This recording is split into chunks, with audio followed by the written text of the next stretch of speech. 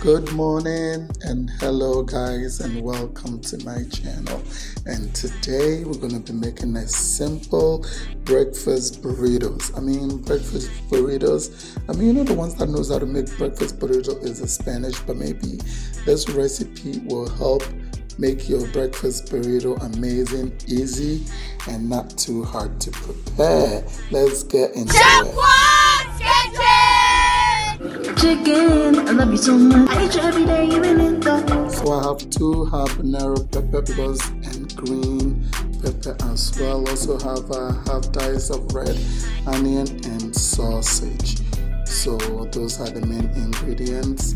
And now I have all the vegetable chopped with the sausage. If you like, you can grate it. That is exactly what I did. And with that will make your burrito look so amazing. Also i have a bacon bits. So in the pan i have five eggs.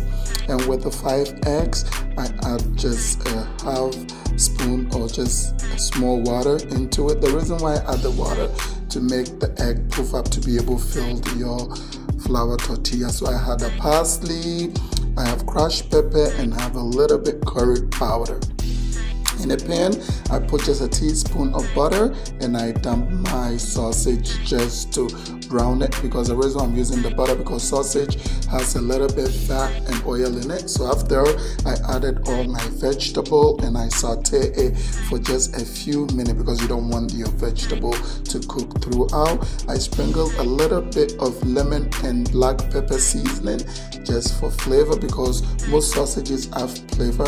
So with the five eggs, I added all the uh, parsley, the crushed pepper, and the curry powder. So I beat it and I set it up outside and I thought the vegetable saute. See? So I sort it out and I pour it in a plate. See it wasn't that cooked well. So in a pan I added a little teaspoon of oil and then I pour in my beat eggs. Now with the pan make sure your frying pan or whichever you're doing your egg in make sure it's super hot as you can see. So the eggs doesn't take that long to cook. After i added the bacon bits and the vegetable to saute it just for another two or three minutes.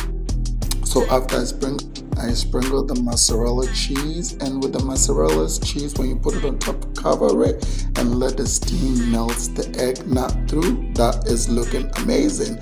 So I took my flour tortilla out I put a little bit butter and then I scoop my omelet into it. With that hold one edge the other and then roll it towards you. That's exactly how your burrito do the same thing for the next one that you have your burrito well done. Now in the same pan, don't clean it, just pour your rolling burritos into it and hold it firm because you want the little crispy on both sides. I mean the pan is not that, it is hot, but with professional, you know, you work with heat, you don't care how hot it is. But kids, please make sure mom, daddy, uncle makes you this burritos. Now with that, just cut it into two and place it on my play out my fruit, some watermelon, which goes amazing.